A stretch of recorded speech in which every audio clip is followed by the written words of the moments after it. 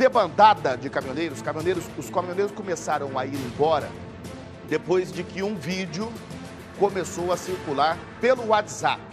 São alguns caminhoneiros que estão em Brasília e que se apresentam como representantes dessa classe que estava paralisada até agora. Vamos ver esse vídeo.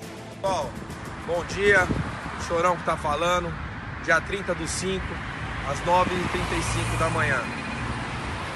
Quero dizer aos companheiros que o governo não nos recebeu, descartamos todas as nossas energia, força que a gente podia e o governo negou o diálogo.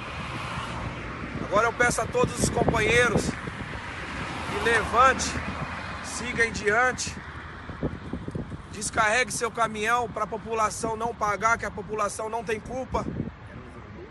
Nos ajudou até agora. E eu peço encarecidamente que esses homens que estão aqui me acompanhou e sabe o meu caráter e a minha índole que eu tive com a categoria até agora. Não participei, não compactuei com sindicato, cooperativa, federação e aceitaram esse 46 centavos. Quero deixar aqui bem claro. Peço que todos descarreguem seus caminhões para abastecer a população e, e pegue os seus cavalinhos e venha para Brasília. E aqui nós vamos continuar. Nós precisamos colocar aqui uns 50 mil caminhões aqui dentro, cavalinho e o que seja. Então eu preciso da compreensão de vocês para a gente forçar o governo a ter o diálogo.